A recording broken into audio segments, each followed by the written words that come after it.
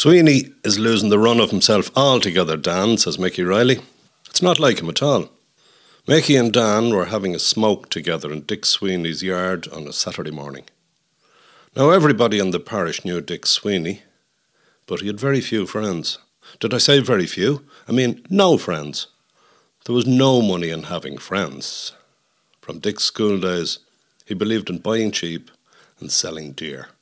From bits of toys, footballs in his youth, Dick recognised that people either need money or something to spend it on. If a man or a woman had an asset but needed money, he was there to buy anything at a ridiculously low price. And of course, when you or I wanted an item, Dick had it to sell at an absolute robbery.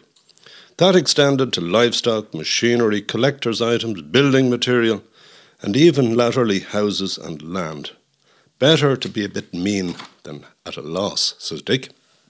His middle name became Take it or leave it. Very often people took it, not because they wanted to, but because they had to.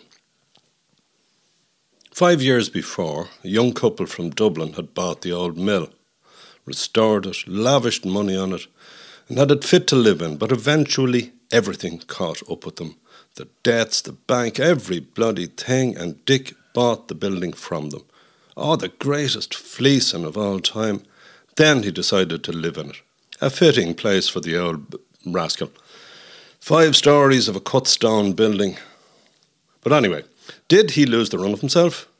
Last week, there was an auction in the priest's house, and Dick went to the limit on a bed, supposedly the bed the bishop slept in when he came to the parish to visit. Six feet wide, brass mahogany, half a ton weight. Oh, look, a passport to heaven for Dick if he could only sleep in it. The door of the mill was four feet wide. The stairs had eight turns in it before it reached the top story, where Dick wanted the bed to sleep in. Call in favours. A team of men were there. When that mill was working, the sacks of grain were winched up to the very top by a cradle on a rope, up to the pulley wheel, 45 feet up to a platform with double doors to be taken in. The very thing.